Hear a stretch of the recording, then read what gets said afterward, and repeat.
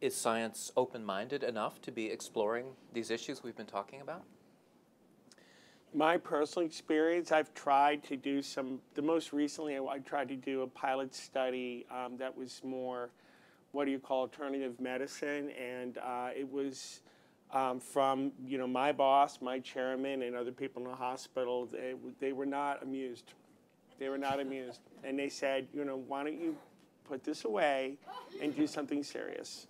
So there's a talk about bias. There's a lot of bias against um, um, alternative medicine, frankly, where Yes. I work.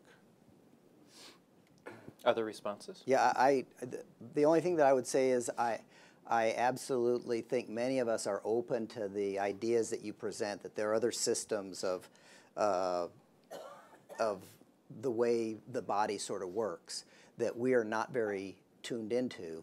And, um, and I also would say it's very, very difficult to study those uh, in ways that sort of make, make sense to most of us and that you can get funded. And to be really blunt, in this country, you can study the things that you can fund.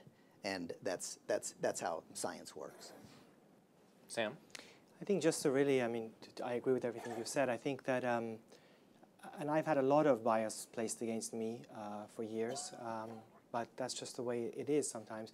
The way I see it is that um, the way that science works is that we sort of have a framework that we've developed over 50, 100, 200 years or 1,000 years prior to any given moment in time. And everyone accepts reality as being what is confined within that framework. The problem is if we only ever studied what was within that framework, we'd never advance. So you have to have people who are going to go and they're going to go look for new things. Many of those things may never come to fruition, but if you don't explore and ask the questions, then you'll never be able to move it up. But most people feel, as Stephan said, feel very uncomfortable when anyone, if you look at every single pretty much scientific discovery, uh, at the beginning people were laughed at.